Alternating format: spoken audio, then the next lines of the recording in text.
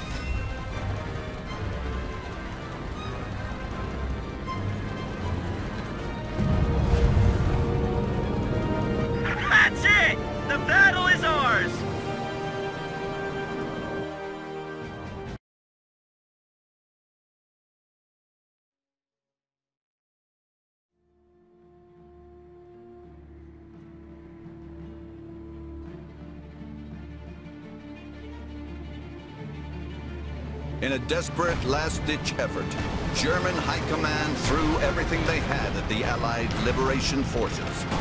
Doing so proved to be a costly mistake. The staunch defenses and ruthless fighting of American troops crushed the enemy's spirit and set the stage for an Allied counterattack that would drive the German forces from the region. With the collapse of the German army in the west and the Red armies smashing into the east, it is clear that the enemy's days are numbered. All that remains is the conquest of the fatherland itself.